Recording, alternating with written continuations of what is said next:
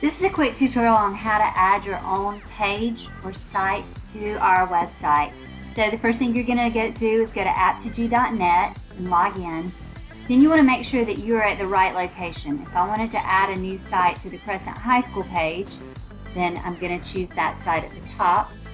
And instead of going to platform where I'm gonna where I could do a live feed or a news event um, or add any document, what I want to do now is go to CMS. So from CMS, it's going to pull up your website, but what you'll notice the difference is you're going to have this little black arrow. So if I wanted to add a page for, um, let's think, the travel club, maybe I'll go down to organizations. And I'm going to add a little a plus sign here underneath organizations and I'm going to make a page and I'm going to call it Travel Club.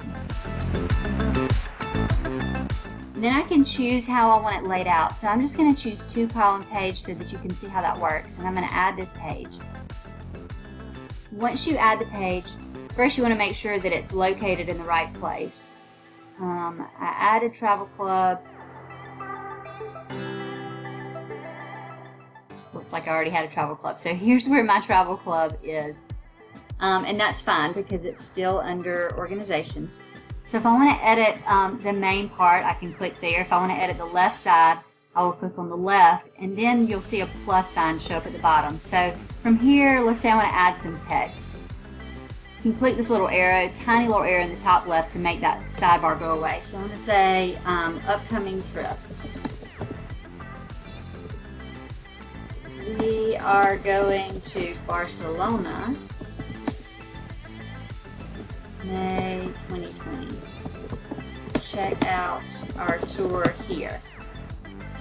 So if I want to put a link, whoops, I'm going to select the word I want to link, click on our link, insert link, and actually I've got it pulled up. Here's a link to the Barcelona tour, so I'm going to link it there, and I definitely want it to go in a new tab, so I'm going to hit Insert, and I'm finished with that one, so I'm going to hit Save.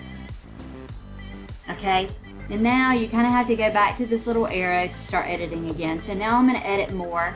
Um, this time I'll add to the main. So I'm going to add a plus sign, and let's do a gallery of pictures. Already got some pictures saved. I'm gonna hit open. I'm gonna name this Italy. Hit save. So now I have a gallery that's gonna show up in the main portion. Let's edit some more. I'm gonna click on this little arrow again. I'm gonna edit main. I'm gonna click on the plus sign. And I want to add some text. And this time, I want it to say, check out, let's see, pictures from our 2018 trip to Italy. I don't want any content. I'm just to hit save. And so I have that somewhere. It'll show up somewhere. Possibly. Let's see. Eh, here's the HTML block. So I'm to click on this HTML block. There it is. Uh, let's, let's try this.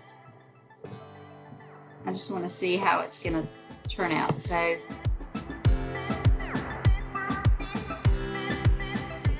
now we have the HTML block and we also have a gallery block.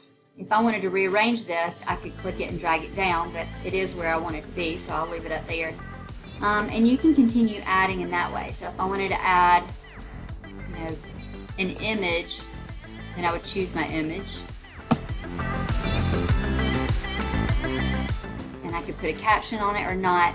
Now it is going to require you to name this image for ADA compliance. So I'm going to put Italy 1. Continue adding in that way and when I'm finished it automatically saves. So we should be able to go to our website. Here, let me go to Crescent. Menu. Organizations. Here's the new travel club. Now you can see our page. It should start scrolling through the pictures. Check out our links to make sure they work, and it does. And let me know if you have any questions.